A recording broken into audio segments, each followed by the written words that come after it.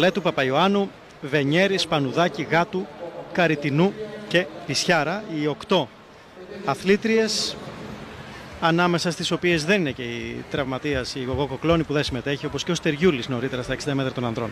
Κυριακίδου στον πρώτο διάδρομο του Ολυμπιακού η Νικολέτου της ε, Κύπρου που λίγο πολύ τρέχει στα 7,75 η Ραμόνα Παπαϊωάννου της, ε, της ΑΕΚ, σπουδαία αθλήτρια, την είδαμε πέρυσι να διακρίνεται και με την Κύπρο. Η Βενιέρη, εξαιρετική φέτος με 7,49.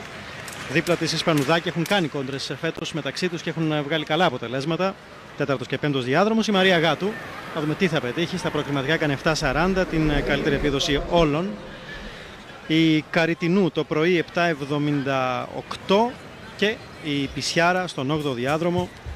Η δεύτερη Κύπρια η δεύτερη που αγωνίζεται με την Κύπρο γιατί δεν είναι οι μοναδικές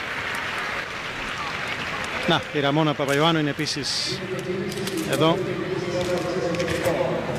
Το πρωί σημείωσε 7.47 μια ολοκληρωμένη σπρίντερ τρέχει καλά και 60 τρέχει πολύ καλά 100 και 200 στον ανοιχτό στίβο. Άλλωστε την είχαμε δει και στο πέρασμά της εξαιρετικό πέρασμα στο παγκόσμιο πρωτάθλημα του Πεκίνου το περασμένο καλοκαίρι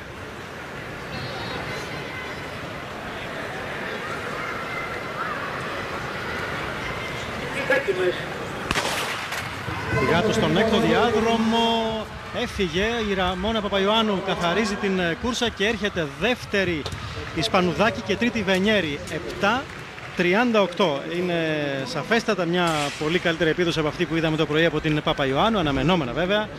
Ε, αλλά έχουμε την έξοδο της, ε, της Μαρίας Γάτου από τα πρώτα μέτρα της κούρσας. Τραυματισμός σαφώς την βλέπουμε να δυσκολεύεται να περπατήσει. Θα